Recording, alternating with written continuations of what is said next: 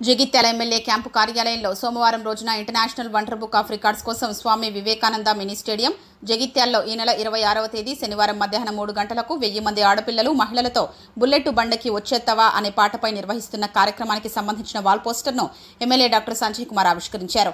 రెండు తెలుగు రాష్ట్రాల ఆడపడుచుల్ని ఆకట్టుకుని చిన్న పెద్ద వయసుతో సంబంధం లేకుండా అందరితో చిందులేస్తున్న పాటపై వెయ్యి మంది ఆడపిల్లలు మహిళలతో వండర్ బుక్ ఆఫ్ రికార్డ్స్ చేయబోతున్న సందర్భంలో నిర్వాహకులకు ఎమ్మెల్యే శుభాకాంక్షలు తెలిపారు. నేడు సినిమాలన్నీ తెలంగాణ యాస భాషతో రావడం ఆనందదాయకమన్నారు. ఈ కార్యక్రమంలో కార్యక్రమ నిర్వాహకులు మచ్చ రవి బృందం రెడ్ క్రాస్ సొసైటీ జిల్లా కమిటీ సభ్యులు Sirisila Srinivas SC ST atrocity committee జిల్లా సభ్యులు టీవీ సూర్యం ఆర్టీఏ జిల్లా మెంబర్ సుధాకర్ రావు చిట్ల రవి రాజేంద్ర ప్రసాద్ జమున ఎలుగందుల రవి క్యాదసు నాగయ్య కళాశ్రీ గుండేటి రాజు తదితరులు పాల్గొన్నారు. మన జగిత్యాల శాసనసభ్యులు అన్నయ్య సంజయ్ నగర్ చేతుల మీదుగా బుల్లెట్ బండి వచ్చేస్తప్ప అనే పాట మీద మనం ఇంటర్నేషనల్ వండర్ బుక్ ఆఫ్ రికార్డ్ను మనం క్రియేట్ చేయబోతున్నాం. ఇది మొత్తం మన తెలుగు రాష్ట్రాలు రెండు తెలుగు రాష్ట్రాల్లో మొట్టమొదటి ఈవెంట్ ఇది. ఎందుకంటే క్లాసికల్కు ఇప్పటి వరకు గిన్నెస్ రికార్డ్స్ ఉన్నాయి. కానీ ఫోక్ ఎవరు ఇంత మటుకు సాహసం చేయలేదు. ఎందుకంటే క్లాసికల్కు మాస్టర్స్ దగ్గర కొన్ని వేల మంది స్టూడెంట్స్ ఉంటారు. భారతదేశం మొత్తంలో ఒకే మూమెంట్ ఉంటుంది ఒక పాట మీద. అదే మన జానపదానికి ఎవరి స్టైల్లో వాళ్ళు చేస్తారు. ఒక మూమెంట్ రావాలంటే చాలా కష్టం. అలాంటిది ఈ బుల్లెట్ బండి ఎందుకనంటే ఒక పెళ్ళి కూతురు చేసిన పాటకు మొత్తం దాదాపు తెలుగు రాష్ట్రాలు మొత్తం ట్వంటీ సెవెన్ క్రోర్స్ రీచ్ అయింది ఇప్పటి వరకు వ్యూస్. దాన్ని అంటే అదే మూమెంట్ చేస్తున్నాను నేను ఒక పది పెళ్ళిళ్ళు చూశాను. ఎవరు చూసినా కూడా చిన్నపిల్లల నుంచి పెద్దవాళ్ళ దాకా ఒకేలా మూమెంట్ ఉంది ఇది మనం ఈజీగా రీచ్ అవుతాము అన్న ఉద్దేశంతో నేనైతే ముందుకు వచ్చాను దాదాపు నేను రీచ్ అయ్యాను ఇప్పటి మటుకు జానపదానికి ఎవరు సాహసం చేయలేదు. ఎందుకంటే మూమెంట్ ఒకేలా ఉండదు. మనం ఈ రికార్డ్ మనం చేయబోతున్నాం.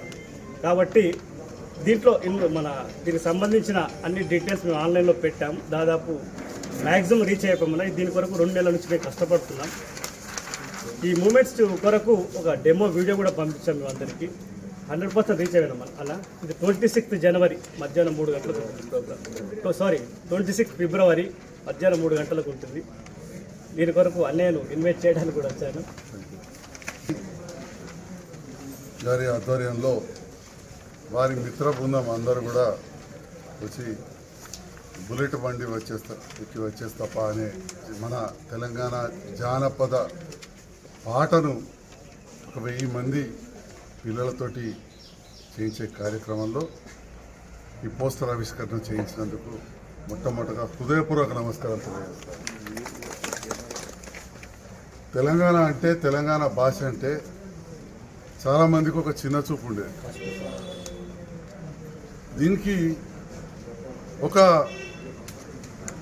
ప్రాక్టికల్గా ఉదాహరణ నేనే అనుకోవచ్చు.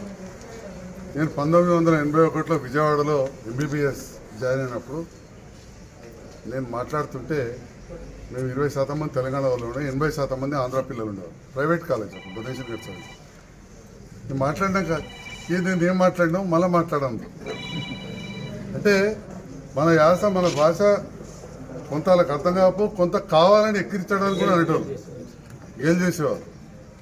కృష్ణా గుంటూరు జిల్లాలకే ఎక్కువ గేలు చేసేవారు. మరి ఆనాటికి ఈనాటికి మన కేసీఆర్ గారి నేతృత్వంలో మన భాష గురించి కావచ్చు మన వేషధారణ గురించి కావచ్చు మన పండుగలు కావచ్చు మన ఉత్సవాలు కావచ్చు మన సంస్కృతి కావచ్చు మన అలవాట్ల ఆహారపు అలవాట్లు కావచ్చు దీనిపైన ఉద్యమ కాలం నుంచే వారు చాలా ప్రాచుర్యం చేస్తే ఇవాళ తిరిగి తిరిగి ఆ పరిస్థితి వచ్చిందంటే ఆ ఆంధ్రలో పెట్టే సినిమాలలో మన తెలంగాణ భాష వాడే పరిస్థితి వచ్చింది. తెలంగాణ భాష వాడే పరిస్థితికి వచ్చింది. దానికి గౌరవంగా హీరోలే మాట్లాడుతున్నారు హీరోయిన్ ముందు కమెడియన్లతో మాట్లాడిస్తారు జోకర్లతోటి.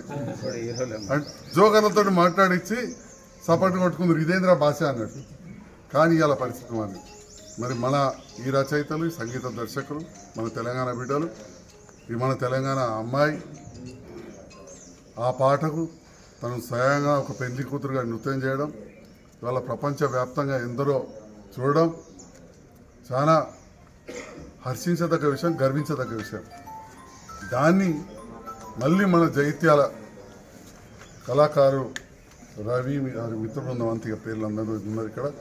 వారందరూ కలిసి పెద్ద ఎత్తున ఒక ప్రపంచ రికార్డ్ వచ్చే విధంగా ఇంతమంది అమ్మాయిలతోటి తెలంగాణ యాస భాష మన నటన ఉండే విధంగా ఒక కార్యక్రమాన్ని చేస్తున్నందుకు అభినందన తెలియజేస్తున్నా. నేను కూడా తప్పకుండా హాజరైతా.